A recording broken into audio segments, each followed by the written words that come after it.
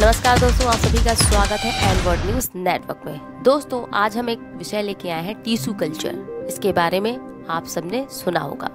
बिल्कुल ठीक। आज हम टीसू कल्चर खेती के बारे में आपको यहाँ पर बताएँगे कि ये खेती होती क्या है, इसके फ़ायदे क्या है और ये प्रक्रिया होती कैसे है। तो इसी को लेकर इस खबर में आगे बढ़ते हैं। चलिए आपको बता देते हैं कि इसकी प्रक्रिया क्या होती है।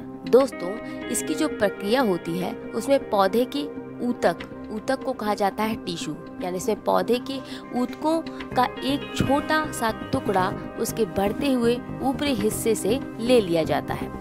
और इस टिश्यू के टुकड़े को एक जेली में रखा जाता है, जिसमें पोषक तत्व और प्लांट हार्मोन मौजूद होते हैं। आपको जानकारी देते हैं कि ये हार्मोन पौधे के ऊतकों में कोशिकाओं, जिन्हें सेल्स कहते हैं, को तेज़ी से तोड़ने का काम करता है। और इनसे कई कोशिकाओं का निर्माण भी होता है। इन सभी कोशिकाओं को एक साथ एक ही जगह पर इकट्ठा किया जाता है, जिसे कैलस कहते हैं। कैलस को भी एक अलग जगह पर जेली में स्थानित किया जाता है। कैलस का काम होता है पौधों की जड़ों को विकसित करने का। जब कैलस में जब जड़ें विकसित हो जाती हैं तो उसे एक और जेली में स्थानांतरित कर दिया जाता है, जहाँ पर कई हार्मोन पहले से होते हैं।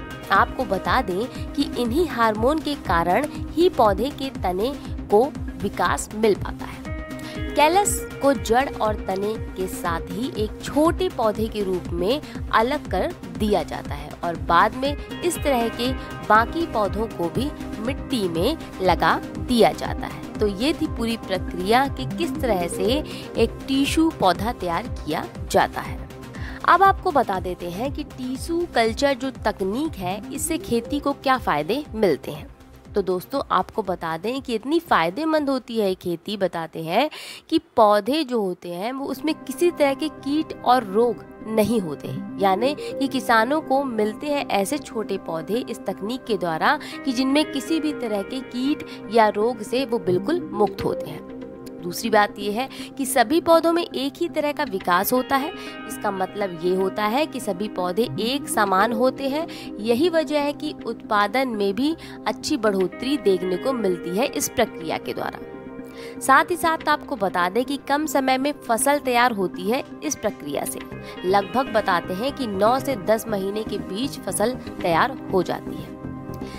इसके अलावा साल भर छोटे विकसित पौधे उपलब्ध होने की वजह से रोपाई भी साल भर की जा सकती है। किसान कम समय में ही इस तकनीक से मिलने वाली नई किस्मों का भी इस्तेमाल कर सकते हैं। इसके अलावा पौधों में किसानों को एक के बाद एक दो अंकुरण मिल सकते हैं और इससे खेती की लागत में भी कमी आ सकती है। तो इस तरह किसान कम समय में ही इस तकनीक से मिलने वाली नई किस्मों का भी इस्तेमाल कर सकते हैं।